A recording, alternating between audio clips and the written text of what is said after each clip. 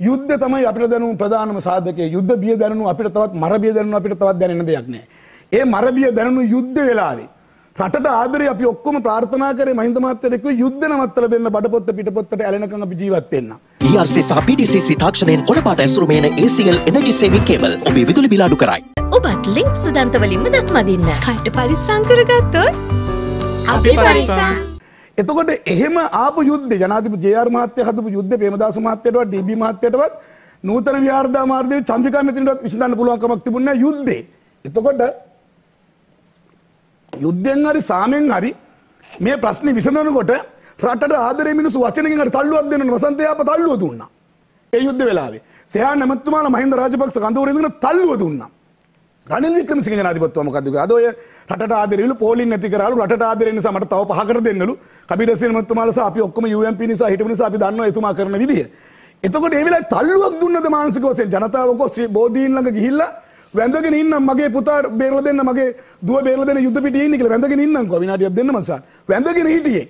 එහෙම කරන්නම් බඩපොත්ත පිටට යනකම් ඉන්නම් ජනාධිපතිතුමනි යුද්ධ බේරලා දෙන්න. එහෙම ගහගෙන ගහගෙන යනකොට කිව්වා තොප්පි කළත් කැලයක්ද කියලා ඇහුවා.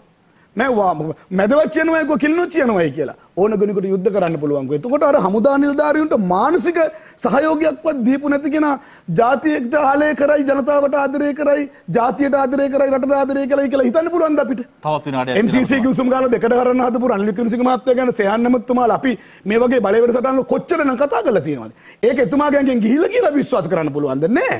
අද අද ප්‍රතිපත්ති ප්‍රකාශනයෙන් 13 වෙනි ආණ්ඩුක්‍රම ව්‍යවස්ථාව ගැන එතුමා මොකද්ද කියන්නේ? ඒ නිසා රනිල් වික්‍රමසිංහ ජනාධිපතිතුමා රටට ආදරේ නැහැ. ඊළඟට අනුරු කුමාර දිසානායක. අනුරු කුමාර දිසානායක මොකද්ද යුද්ධ වෙලාවේ දුන්න සහයෝගය? බජට් එක පරද්දන්නේ හෙට මෙහෙට මන්ත්‍රී වරු ටික ඇදලා කෑ ගහලා ගියා මිසක් යුද්ධ කරන්න එකට විරුද්ධව බටහිර බලවේගයන් එක්ක එකතු වෙලා ඒ කාලෙත් ඇමරිකාවත් එක්ක එකතු වෙලා කටයුතු කළා මිසක් මහින්ද රාජපක්ෂ ජනාධිපතිතුමාට සහ ත්‍රිවිධ හමුදාවට දුන්න සහයෝගය මොකද්ද? එහෙනම් මරණ බිය තුරුල් කරගත්ත ඒ වගේ අවස්ථාවකවත් රටට ජාතියට ආදරේ නැති අපේක්ෂකයෝ තුන් දෙනෙක් සමග රට බේරගත්ත ජාතියට ආදරය කර නායකක පුතා සටන්බිමේ ඉන්නකොට මම තාත්ත දෙන්නෙක්ගේ දරුව දෙන්නෙක්ගේ තාත්ත කෙනෙක් විදිහට මම මම කොහොමද වෙන කෙනෙකුට මේකේ ඡන්දයක් දෙන්න විශ්වාස කෙනෙකුට කෙනෙකුට කෙනෙකුට මෙහෙම ප්‍රශ්නයක් මතුවන්නට පුළුවන්. ඒ කියන්නේ මේ දේශපාලන ව්‍යාපාරය තුළ මේ 2024 ජනාධිපතිවරණයේදීත් යුද්ධ යුද්ධ ජයග්‍රහණය ඇරෙන්නට තවත් දෙයක් ඉදිරිපත් කරන්න නැද්ද? කරනවා. දැන් මට තව විනාඩි 12ක් තියෙනවනේ මේ මදුෂාන් මේ බලය වැඩසටහන මට ඒක කියන්න මම මේ ප්‍රවේශය ගන්න එකයි.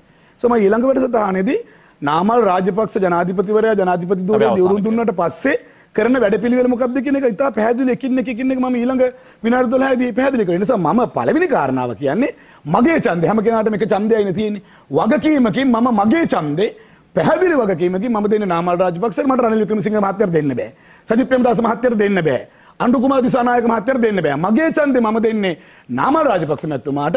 ඒ කඳවුර වෙනුවෙන් මම පෙනී සිටින්නේ අපේ කඳවුර ගැන පැහැදීමක් ඇතිවන 69 ලක්ෂයක් අවසාන ඡන්ද දුන්නේ අපිට. ඒ අයගෙන් අපිට ඉතුරු වෙලා ඉන්නේ හැට අට ලක්ෂයයිද හැට ලක්ෂයයිද පනස් ලක්ෂයයිද ඒක හැත්තනම ලක්ෂයට වැඩි වෙලාද කියලා උරගා බලන මැතිවරණය තුළ අපේ ප්‍රතිපත්ති මාලාවන් අපි ජනතාවට කියනවා ඒ ප්‍රතිපත්ති පිළිගන්න අයට පුළුවන් පොට්ටු ඉස්සරහා කතරේ ගහලා මේ පූජ වට්ටිය රත ගහන්න